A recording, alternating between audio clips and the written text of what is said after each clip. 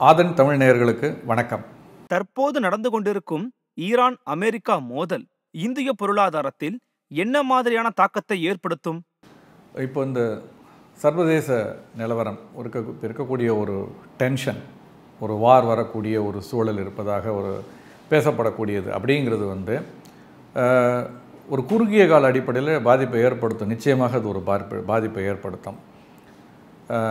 எனினும் ஒரு நீண்ட கால அடிப்படையில் கவலைப்பட வேண்டியதில்லை. எப்படின்னு நான் சொல்கிறேன் இந்த ஒரு ஷார்ட் டேர்மில் நிச்சயமாக இப்போ வந்து அமெரிக்கா வந்து செய்திருக்கக்கூடிய அந்த ஒரு அட்டாக் அப்படிங்கிறது வந்து ஈரானினுடைய அவங்களுடைய ஒரு இறையாண்மையில் கை வச்சதாக அவர்கள் கருதக்கூடும் கருதுவார்கள். அதனால் வந்து திருப்பி பதிலடி கொடுக்கணுங்கிற ஒரு வேகமும் உத்வேகமும் அங்கே இருக்கும் அங்கே வரக்கூடிய செய்திகளும் அதை தான் காட்டுகிறது. ஆனால் ப்ராக்டிக்கலாக எவ்வளோ தூரத்துக்கு அதெல்லாம் சாத்தியம் நிதர்சனமாக பார்க்கும் பொழுது ஒரு பீரியட் ஆஃப் டைம் அது செட் ஆகிடும் இது இதுதான் முடிய முடியாதுங்கிறது தெரியும் பொழுது உண்மை உரைக்கும். அப்போ வந்து ஒரு லெவலுக்கு மேலே இந்த ஆக்ஷனுங்கிறதெல்லாம் சீரியஸாக போகாது. முன்பெல்லாம் வந்து உலகம் முழுவதும் இருக்கக்கூடிய நாடுகள் இரண்டு கூறாக பிரிந்து ஒரு கூட்டமாக ஒருத்தர் ஒருத்தர் வந்து சண்டைங்கிறதெல்லாம் அதெல்லாம் இப்போ கிடையாது. இப்போ எல்லாம் பலவாறாக பிரிந்து கிடக்கிறது. அதனால் இது ஒரு தற்காலிகமாக நிச்சயமாக ஒரு பின்னடைவு ஒரு செட்பேக் இது இந்தியாவில் நம்முடைய பொருளாதாரத்தை எப்படி பாதிக்கும் அப்படின்னு பார்த்தோம்னா அமெரிக்கா மிகப்பெரிய அளவில் ஒரு நல்ல உறவு ஈரானோடு இல்லை என்ற போதிலும் இந்தியாவை பொறுத்தவரை நம்ம வந்து ஈரானோட ஈராக்கோட பல அரபு நாடுகளோடு நம்ம வந்து நல்ல உறவோடு தான் இருக்கோம்.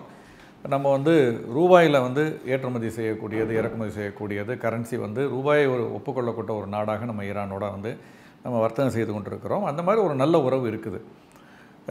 இப்போ இந்த பிரச்சனையின் காரணமாக என்ன ஆகுதுன்னா இப்போது கரன்சி டிவேல்யூ ஆகுது. அல்லது ரூபாயினுடைய மதிப்பு குறையுது அப்படின்னு சொல்கிறத விட அமெரிக்க டாலருடைய மதிப்பு உயர்கிறது ஒரு பக்கம்.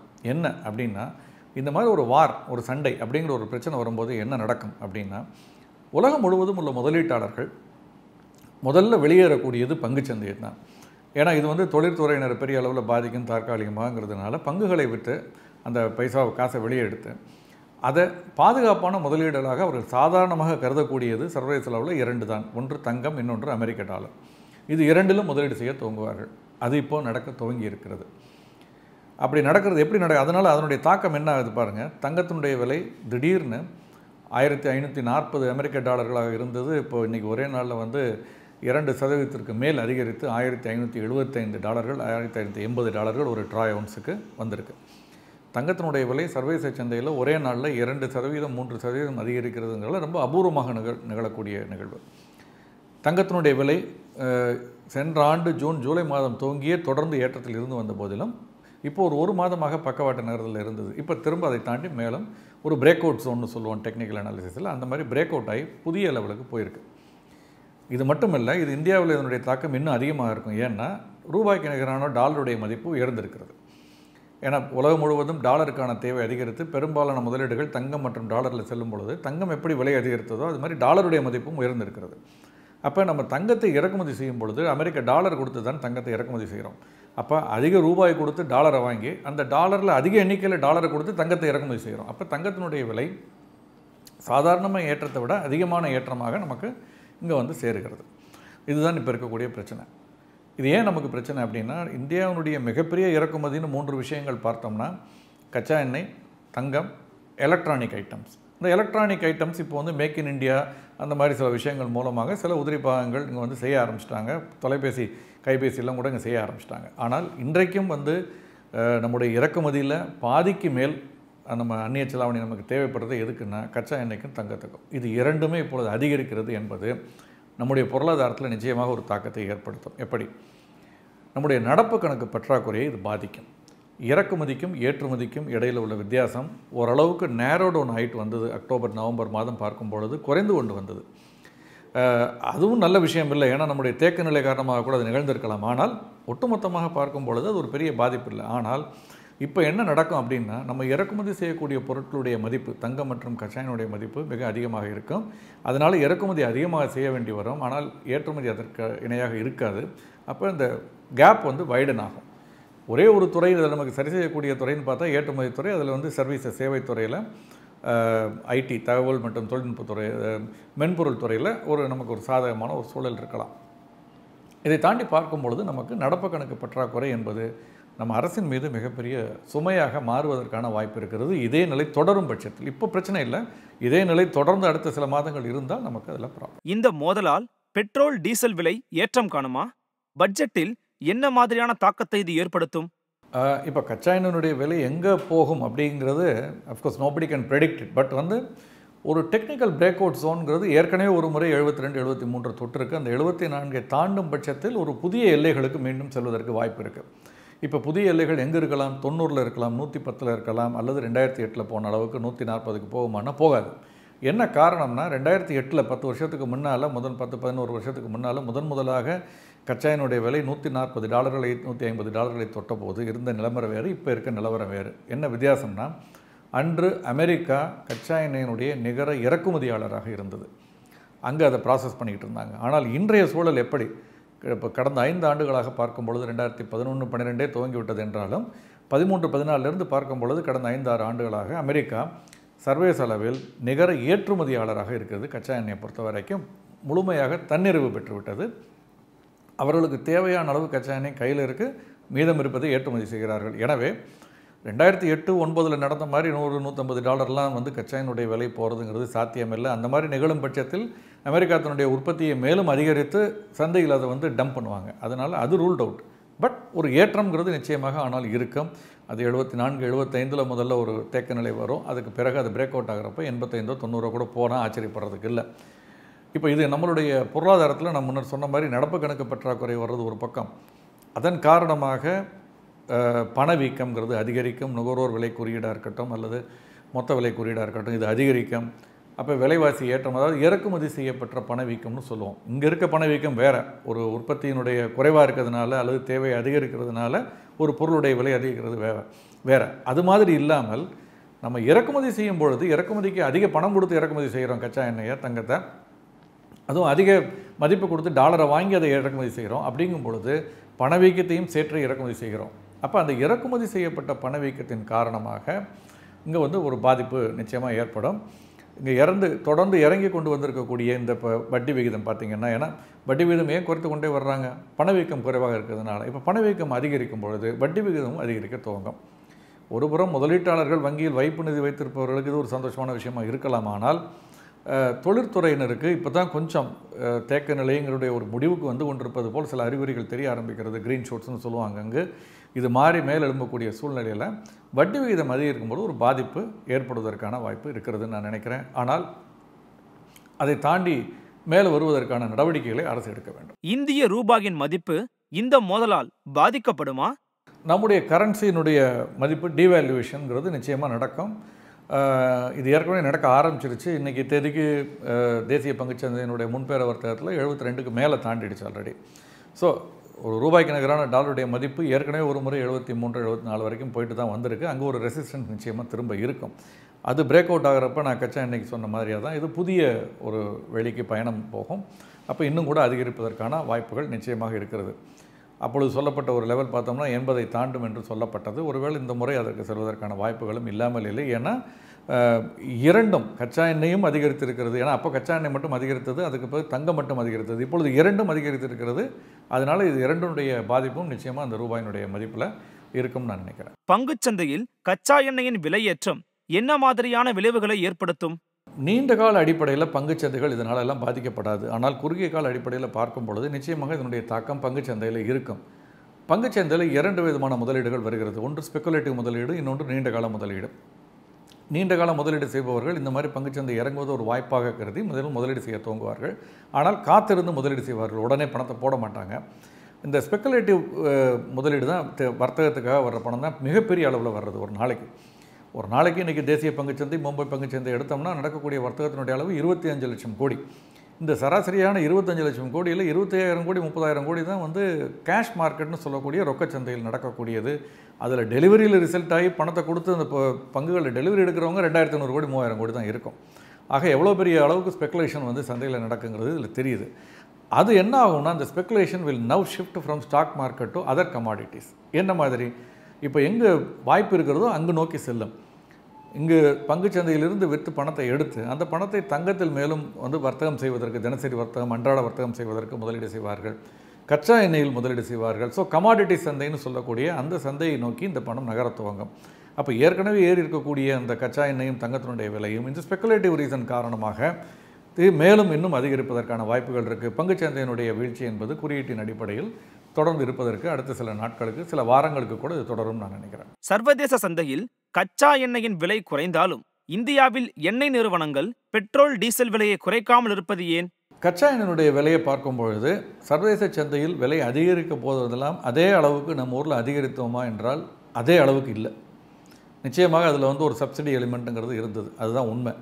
ஆனால் நம்ம பயணீட்டாளராக பார்க்கும் பொழுது நமக்கு ஏற்றுனது மட்டும்தான் தெரியும் இறங்குனது தெரியாது. ஐந்து ஆண்டுகளுக்கு முன்பு ஆறு ஏழு ஆண்டுகளுக்கு முன்பு எண்பது ரூபாய்க்கு இருந்த பெட்ரோல் விலை இறங்கி அறுபது ரூபாய்க்கு கீழே வந்தது ஐந்து ஆண்டுகளுக்கு முன்பு. இந்தியாவில் அறுபது ரூபாய்க்கு கீழே ஐம்பத்தேழு ஐம்பத்தெட்டு ரூபாய்க்கு கூட விற்கப்பட்டது. அங்கிருந்து மீண்டும் இப்பொழுது அதிகரித்திருக்கிறது. எனவே இறங்கும் பொழுது முழுமையாக இறக்கலைன்னு நம்ம சொல்ல இறக்கியிருக்காங்க. பட் ஆனால் அங்கே சர்வதேச சந்தையில் இறங்கின அளவுக்கே இறக்கியிருக்காங்களான்னா இல்லை. அது வரி மூலமாக அதில் ஒரு பகுதியை மட்டும் இறக்கிட்டு இன்னொரு பகுதியை வரியாக மாற்றி அரசு எடுத்துக்கொண்டிருக்கிறது. இதை எடுத்துக்கிறதுல தப்புன்னு நம்ம சொல்ல முடியாது. அந்த பணம் முறையாக பயன்படுத்தப்படும் வரை அந்த பணம் வந்து மக்களுக்காக பயன்படுத்தப்படும் வரை அதில் வந்து நம்ம வந்து தவறு கண்டுபிடிக்க முடியாது. ஹைலி சப்சிடைஸ்டாக பாதிக்கப்பட்டோருக்கு பிலோ பாவர்ட்டி லைனுக்கு பஸ் பாஸ் கொடுப்பது இந்த மாதிரி சில விஷயங்கள் செய்வதன் மூலமாக இதிலிருந்து தற்காத்து கொள்ள முடியும். இதற்கு வேறு ஒரு வழி இருக்கிறது. உயர் ரக வாகனங்களை பயன்படுத்துவோர் கார் உள்ளிட்ட வாகனங்களை பயன்படுத்துபவர்களுக்கு ஒரு டிஃப்ரெண்ட் ரேட்டில் வந்து பெட்ரோலை கொடுக்க முடியும்னா இருசக்கர வாகனங்கள் போகிறவங்க பஸ்ஸில் மற்றவங்களுக்கு அது குறைவாக இருக்கலாம். ஆனால் அந்த மாதிரியான ஒரு சூழல் இங்கே வந்து நடைமுறையில் சாத்தியம்ங்கிறது கொஞ்சம் சிரமம். அதனால தான் வந்து அரசு அதை தனியாக பிரித்து செய்ய முடியாமல் ஒரே அடியாக அதை வந்து செய்து கொண்டிருக்கிறார்கள். பட் நிச்சயமாக சர்வதேச சந்தையில் அதிகரிக்கும் பொழுது இங்கே கூட்டணும் குறையும் பொழுது குறைக்கணும். அந்த தாக்கம் அதிகமாக இல்லாமல் பாற்றுக்கொள்வதற்கு ஒரு குஷன் மாதிரி ஒரு ரிசர்வ் இருக்கணும் அவங்கள்ட்ட ஒரு பஃபர் இருக்கணும். அந்த பஃபர் அதற்கு பயன்படுத்திக் கொள்வதில் தப்பில்லை. ஏற்கனவே தள்ளாட்டத்தில் இருக்கும் ஆட்டோமொபைல் துறை கச்சா எண்ணெய் விலையேற்றத்தால் பாதிப்படையுமா? இப்போ கச்சா எண்ணெயினுடைய விலை அதிகரிக்கிறதுங்கிறது வந்து இறுதியாக போய் சேரக்கூடிய பொருளினுடைய அடக்க விலையில் ஒரு சின்ன ஏற்றத்தை உண்டு பண்ணும் நிச்சயமாக. உற்பத்தி துறையில் இருக்கவங்களுக்கு அது பாதிப்பு ஏற்படுத்தும். ஆனால் ஆட்டோமொபைல் செக்டார் வந்து இதனால் பாதிக்கப்படும்னு நான் நம்பலை. ஒரு சின்ன பாதிப்பு இருக்கலாம் பெரிய அளவில் இருக்காதுன்னு நான் நினைக்கிறேன். ஏன்னா வாகனம் வாங்குபவர்கள் பெட்ரோல் விலை எழுபதுலேருந்து எழுபத்தஞ்சு ரூபா ஆக்கிட்டாங்க. அதனால் நான் வாகனம் வாங்க போகிறதில்லைன்னு யாரும் சொல்கிறது கிடையாது. வாங்குறவங்க வாங்கிட்டு தான் இருக்காங்க பயன்படுத்துகிறவங்க பயன்படுத்திக்கிட்டு தான் இருக்காங்க. கன்சம்ஷனோட லெவல் தற்காலிகமாக கொஞ்சம் குறையலாம். பட் திரும்ப வந்து பழைய மாதிரி வந்துடும் பட் சரக்கு போக்குவரத்தில் அந்த கட்டணங்கள் உயரும்.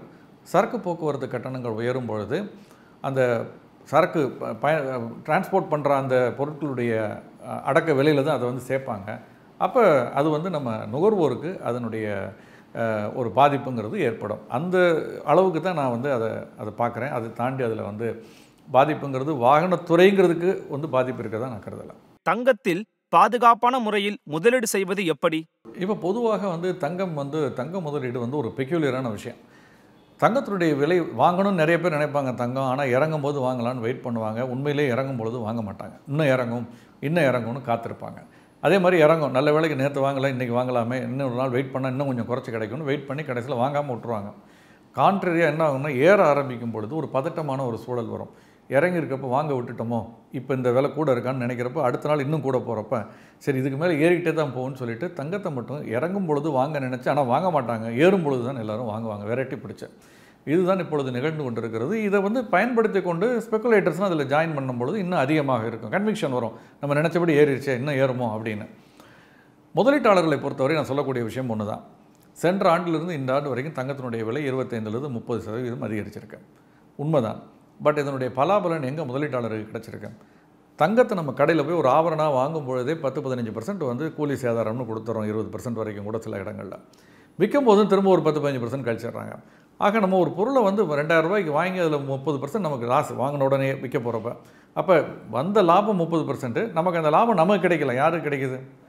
ஸோ தங்கத்தை ஒரு முதலீட்டாக பார்க்கும் பொழுது எப்படி முதலீடு செய்ய வேண்டும்? தங்கம் நான் வாங்கக்கூடாதுன்னு சொல்லலை. தங்கத்தை ஒரு ஆபரணமாக வாங்கும் பொழுது அதை வீட்டுக்கு ஒரு அத்தியாவசிய தேவைக்கு நமக்கு வந்து ஒரு ஒரு செலவாக அதை எடுத்துக்கணுமே தவிர முதலீடாக பார்க்கக்கூடாது. முதலீடாக தங்கத்தை பார்த்தா என்ன பண்ணணும்னா இன்றைக்கு தேதிக்கு ரெண்டு ஆப்ஷன் இருக்குது ஒன்று கோல்டு இடிஎஃப்னு சொல்லக்கூடிய எக்ஸ்சேஞ்ச் ட்ரேடட் ஃபண்டுன்னு சொல்லக்கூடிய மியூச்சுவல் ஃபண்ட் அதில் முதலீடு செய்யலாம்.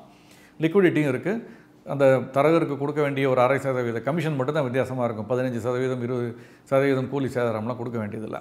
விலை ஏறினா அது ஏறும் இறங்குனா இறங்கும். தங்கத்தினுடைய விலை ஏறினா. அதையும் விட இன்னும் ஒரு படி மேலே போய் ரொம்ப நல்ல விஷயம் என்ன அப்படின்னா மத்திய அரசாங்கமே வெளியிடக்கூடிய சாவரின் கோல்டு பாண்ட். இந்த சாவரின் கோல்டு பாண்டுங்கிறது உங்கள் வீட்டுக்கு அருகாமையில் இருக்கக்கூடிய பங்குத்தரகர்களிடம் நீங்கள் போய் வாங்கலாம் ஸ்டாக் புரோக்கர்ஸ்ட்டை. பேங்க்ஸில் கூட வாங்கலாம் புதுசாக வெளியிடும் பொழுது. இதில் என்ன ஒரு அட்வான்டேஜ்னா நம்ம வாங்கக்கூடிய ஒவ்வொரு யூனிட்டுக்கும் நிகராக நமக்கு வந்து ஒரு யூனிட் வந்து இது கொடுத்துட்றாங்க. அவங்க தங்கம் இணையாக ஒரு யூனிட் கொடுக்குறாங்க. அதுக்கு ஆண்டுக்கு இரண்டரை சதவீதம் வட்டி கொடுக்குறாங்க. நம்ம தங்கமாக வாங்கி வைத்திருக்கும் பொழுது எந்த வட்டி வருமானமும் வராது. ஆனால் இதுக்கு ரெண்டரை சதவீதம் வட்டி வருமானம் வரும். அதை விட ரொம்ப முக்கியமான ஒரு விஷயம் ஏழு ஆண்டு முடிந்த எட்டாவது ஆண்டு இதனுடைய மெச்சூரிட்டி பீரியடில் நம்ம விற்கும் பொழுது இதில் நீண்ட கால மூலதன ஆதாயம்னு சொல்லுவோம். லாங் டேர்ம் கேபிட்டல் கெயின் இதில் வரும் நமக்கு.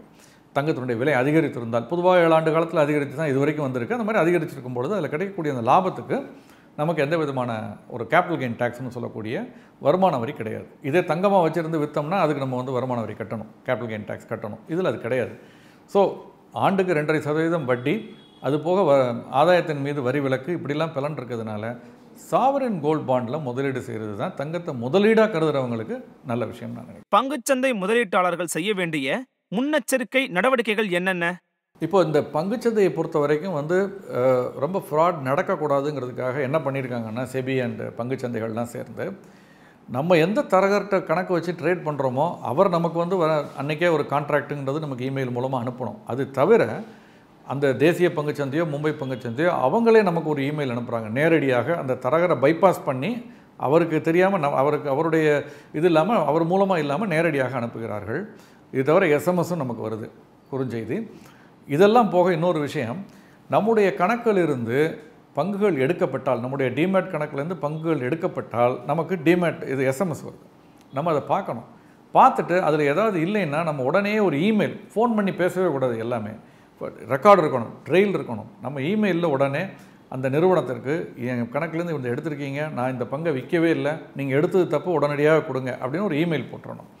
போட்டு உடனடியாக மறுநாள் அவங்க ட்ரான்ஸ்ஃபர் பண்ணலைன்னா உடனே நீங்கள் வந்து செபிட்டையோ என்ன சிடிஎஸ்எல் என்எஸ்டிஎல்னு சொல்லக்கூடிய டெபாசிட்லையோ நம்ம கம்ப்ளைண்ட் பண்ணணும். SCORES dot GOV dot IN ஒரு வெப்சைட் இருக்குது எஸ்சிஓஆர்இஎஸ் டாட் ஜிஓவி டாட் ஐஎன்னு செபியினுடைய இணையதளம். இங்கே போய் நம்ம பதிவு செய்து கொண்டு நம்முடைய குற்றச்சாட்டை நம்முடைய கம்ப்ளைண்ட்டை நம்ம வந்து அங்கே வந்து பதிவு செய்யலாம். எல்லாமே எழுத்து மூலமாக இருக்க வேண்டும். நமக்கு எது வந்தாலும் அதை உடனடியாக சரிபார்க்க வேண்டும். சரியாக இல்லைன்னா எழுத்து மூலமாக அதை வந்து நம்ம பதிவு செய்ய வேண்டும்.